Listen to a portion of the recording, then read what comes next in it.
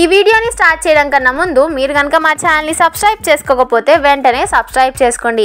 Latest updates కోసం కింద ఉన్న బెల్ ఐకాన్ని క్లిక్ చేయండి. కరోనా ఎంట్రీ ఇవ్వడంతో ఇండస్ట్రీ చాలా నష్టపోయింది. నిర్మాతల పరిస్థితి అయితే ఏం చెప్పమంటారు? వడ్డీ రేట్ల భారం పెరిగి ఏం చేయాలో తెలియని పరిస్థితుల్లో ఉన్నారు. మూవీ షూటింగ్స్ ప్రారంభమైన మళ్ళీ ఎప్పుడు ఆగిపోతాయో తెలియని పరిస్థితి.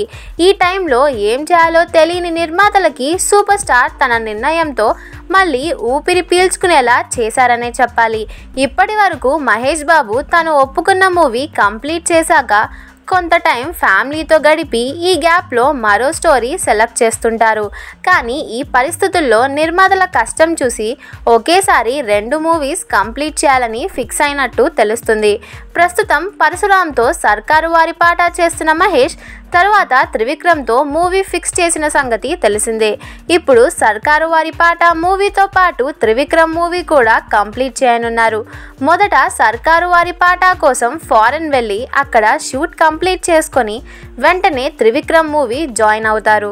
ఇలా ప్యారలల్గా రెండు మూవీస్లో నటించి త్వరగా కంప్లీట్ చేసేందుకు మహేష్ ప్లాన్ చేసుకున్నట్లు తెలుస్తుంది. మహేష్ నిర్ణయంపై మీ అభిప్రాయాన్ని కామెంట్ సెక్షన్లో తెలపండి. ఈ వీడియో మీకు నచ్చితే లైక్ చేయండి షేర్ చేయండి. మరిన్ని లేటెస్ట్ అప్డేట్స్ కోసం మా ఛానల్ని సబ్స్క్రైబ్ చేసుకోండి.